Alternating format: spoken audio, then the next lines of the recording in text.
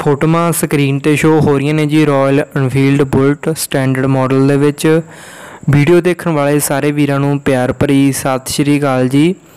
ਜਿਹੜੇ ਵੀਰ ਆਪਣੇ ਇਸ ਚੈਨਲ ਤੇ ਨਵੇਂ ਆਏ ਨੇ, ਚੈਨਲ ਨੂੰ ਸਬਸਕ੍ਰਾਈਬ ਕਰ ਲਿਓ ਜੀ ਤੇ ਨੋਟੀਫਿਕੇਸ਼ਨ ਘੰਟੀ ਪ੍ਰੈਸ ਕਰ ਲਿਓ ਤਾਂ ਜੋ ਆਉਣ ਵਾਲੀ ਵੀਡੀਓ ਤੁਹਾਡੇ ਤੱਕ ਪਹੁੰਚਦੀ ਰਹੇ ਜੀ।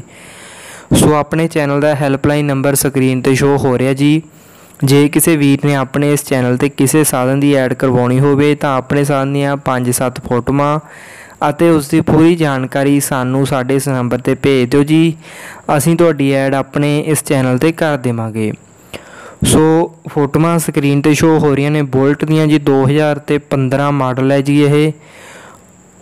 ਪੰਜਾਬ ਨੰਬਰ ਹੈਗਾ ਜੀ। ਸਾਰਾ ਬੁਲਟ ਓਰੀਜਨਲ ਹੈ ਪਾਰਟਸ ਸਾਰੇ ਨਾਲ ਨੇ ਆਲ ਓਰੀਜਨਲ ਹੈ।